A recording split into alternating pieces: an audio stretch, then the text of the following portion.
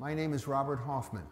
I'm the president and founder of Anti-Cancer Inc. We have been a partner of UVP and now Analytik Jena for almost 10 years.